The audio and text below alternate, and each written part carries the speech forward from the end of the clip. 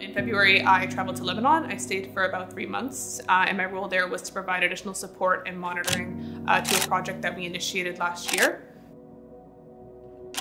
After the Beirut blast in August, Islamic Relief received quite a lot of funding from the Government of Canada. So with those funds, we initiated a project that was able to respond to the immediate needs uh, that came after the blast, but also some of the more long-term recovery efforts.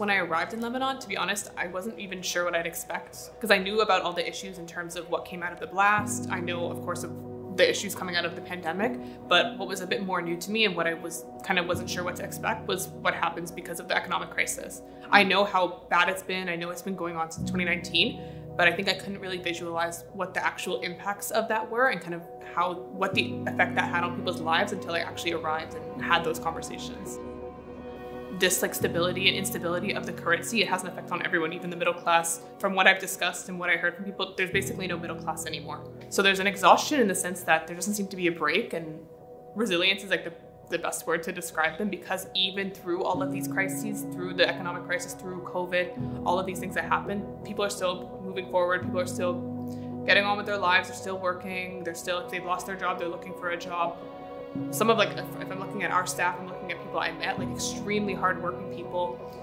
Even when I'm looking at everyday people I met, like service providers and shops and malls and things like that, everyone's still very dedicated to their work. Everyone's still very kind, generous, extremely welcoming, despite like probably the internal hardship and the struggles they're facing. It's hard because I had such a good experience and I learned a lot, but it's it's disheartening because I've come back and it hasn't gotten any better we're still here. We're still trying to think of ways that we can support. We're trying to design new programs, trying to ensure that we're filling those gaps and providing the assistance that we can. But it's difficult. It's difficult when the situation is just getting worse. Um, I know that there's always a lot more that needs to be done beyond that. There's tons of people that unfortunately maybe haven't received the aid that they need. Um, but we can at least be there to provide as much support as we can in kind of the space that we take.